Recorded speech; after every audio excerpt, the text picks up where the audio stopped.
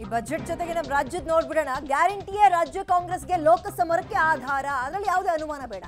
Guarantee ಫಲಾನುಭವಿಗಳಿಗೆ ಮತ ಗ್ಯಾರಂಟಿನ ಗಿಟ್ಟಿಸ್ಕೊಳ್ಳೋಕೆ plan ಏನದು ನೋಡ್ತಾ ಹೋಗೋಣ.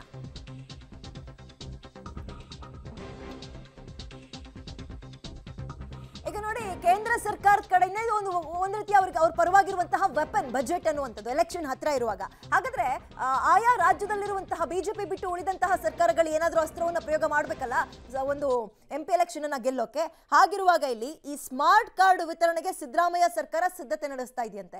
ಏನಿದು ಸ್ಮಾರ್ಟ್ ಕಾರ್ಡ್ ಮತ್ತೇನಾದರೂ ಉಚಿತವಾಗಿ ಕೊಡ್ತಾರ ಅಂತ ನೀವು ಯೋಚನೆ ಮಾಡ್ತಾ ಇದ್ರೆ, ಈ ಗ್ಯಾರಂಟಿ ಕಾರ್ಡ್ ಕೊಟ್ರಲ್ಲ, ಪಂಚ ಗ್ಯಾರಂಟಿಗಳು ಒಂದು ಕೊಟ್ರಲ್ಲ, ಅದೇ ಈ ಈ ಒಂದು ಯುವ ನಿಧಿ ಆಗಿರ್ಬೋದು ಗೃಹ ಜ್ಯೋತಿ ಗೃಹಲಕ್ಷ್ಮಿ ಇಂಥದ್ದನ್ನೆಲ್ಲ ಕೊಟ್ರಲ್ಲ ಫ್ರೀ ಬಸ್ಸಲ್ಲಿ ಓಡಾಡುವಂಥದ್ದು ಹೆಣ್ಮಕ್ಳಿಗೆ. ಇಂತಹ ಯೋಜನೆಗಳನ್ನ ಈ ಗ್ಯಾರಂಟಿ ಕಾರ್ಡ್ ಮೂಲಕ ರೀಕಾಲ್ಗೆ ಕಾಂಗ್ರೆಸ್ ಪ್ಲಾನ್ ಮಾಡ್ತಾ ಇದೆ. ನಾವು ಇದ್ದಿದ್ದಕ್ಕೆ ಹಿಂಗೆ ಕೊಟ್ಟಿದ್ದು ಎಂ ಪಿ ಎಲೆಕ್ಷನ್ ಅಲ್ಲೂ ಗೆಲ್ಲಿಸ್ಕೊಡಿ ಇದನ್ನ ಮುಂದುವರ್ಸ್ಕೊಂಡು ಹೋಗ್ತೀವಿ ಇನ್ನೊಂದು ಐದು ವರ್ಷಗಳ ಕಾಲ ಅಂತ ರೀಕಾಲ್ ಮಾಡೋಕ್ ಕೂಡ ನಿರೀಕ್ಷೆಗಳಂತೂ ಸಹಜವಾಗಿ ಸಾಕಷ್ಟಿದೆ.